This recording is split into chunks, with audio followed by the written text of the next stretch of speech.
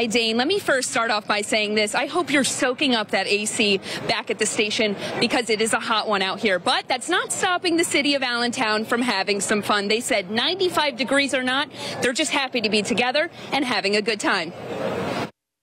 Blues, Brews, and Barbecues. This is Blues, Brews, and Barbecue. They said it. It's the City of Allentown's 14th annual Blues, Brews, and Barbecue. It's so nice to see that we have this support in downtown Allentown. It's a great time. Families and friends came out to Hamilton Street Saturday to enjoy good food, music, and local vendors, even if the temperatures were, well, hot. It's very hot. Nice weather, even though hot. It's hot, but it feels great to be here. Fortunately, the city was prepared.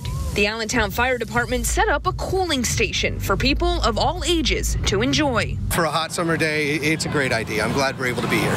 Everyone agreed that having a summer event like this right in the heart of the city for everyone to enjoy was a good move. But I'm really impressed with how, you know, much downtown has been improved. It's wonderful. It's good to be back. Images row homes in Shenandoah, Schuylkill County. It broke out early this evening in the 300 block of West Oak Street. I knew exactly what happened. The front porch of John Horner's home has been reduced to rubble after he says this pickup truck slammed into it around 4:30 in the morning. Horner tells us he was asleep inside his home along Route 222 in Maxatawny Township as it all unfolded. The whole porch has got to be replaced. And you can see just all the damage here on the porch, debris everywhere. The homeowner tells us this is the eighth time his home has been struck in his 20 years living here. You know that sound and then you just wait for the state police and the fire trucks and ambulance. The sanctuary at Hoffsville in Briningsville is inundated. So we got a call about a truck that had broken down and they had 74 dogs on board. And all 74 are now here. He says murders simply didn't happen in the quiet town, and this one had everyone talking. And you're trying to figure who could possibly be. There was all kinds of rumors going around. Chiverella was last seen right here, walking down Church Street in Hazleton. It was a route she took every day to school, but Marchetti says, tragically, that day was different. James Paul Forte, a face and a name to identify the man police say murdered nine year old Marise Chiverella in 1964. Several officers became emotional, revealing the news. It's a vivid memory for everybody who lived through this. And it's a, a vivid memory for everybody who grew up in this area. For people who did grow up in Hazleton, they might recognize this face. Police say Forte graduated from Hazleton High School. He was a bartender in town and lived on West 14th Street. And years after Chiverella's murder, he was arrested for assaulting a woman in 1974. He actually pled guilty to aggravated assault and got a year probation. But state police say Forte will never stand trial for his alleged crimes because he died in 1980 and was buried here at Calvary Cemetery in Butler Township. You can even see where the ground was recently disturbed at his burial site when state police exhumed his body to confirm that it matched their DNA profile. I could never even think of having such a nightmare. I could never even think of dreaming such a nightmare. Father Gendris asked us not to show his uncle's face or use his name for fear that he could become a target of the Russian military if he was seen on Western media. Despite the rain, dozens lined the sidewalk in front of the Hatboro Police Department, greeting the motorcycles and Officer Ryan Allen's ambulance with salutes and American flags.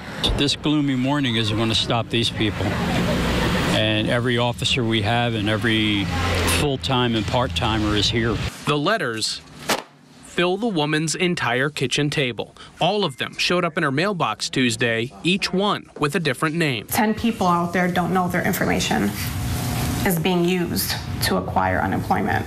The woman did not want to be identified, but according to the Pennsylvania Labor Department website, she's right to be concerned. It says, quote, signs of fraud include receiving unrequested unemployment paperwork. This is our home for 18 years. None of those people have ever lived here. The woman called Allentown police, who referred her to the Department of Labor. She called their fraud hotline, but was on hold so long she hung up. How many fraud cases do you possibly have going on that I'm on hold for 45 minutes waiting to speak to somebody? We called that hotline as well. Welcome to the Pennsylvania Unemployment Compensation Service Center. And we waited and waited and waited until finally, after an hour and a half, we hung up as well. The woman says she turned to Facebook to see if anyone else was dealing with this and found out she's not alone. There were a bunch of people that were receiving the same letters. Some of them had thrown them away, some of them, I guess, were returning to sender. And the woman says that's her plan as well. I wrote in all capitals fraud uh, person does not live at this address return to sender. So since the woman says she can't get through on the unemployment line she's going to drop them in a post office box like this one because she says she doesn't want to put them in her own mailbox. I'm not going to stick it in my mailbox because i feel like somebody's watching my mailbox. And the woman says she hopes that's the end of it. In allentown rob manch 69 news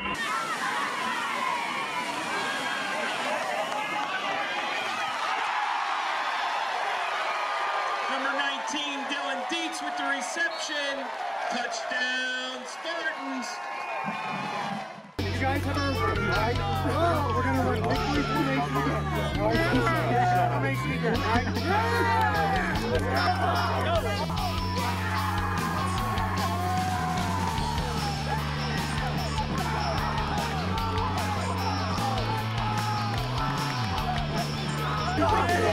Let's go!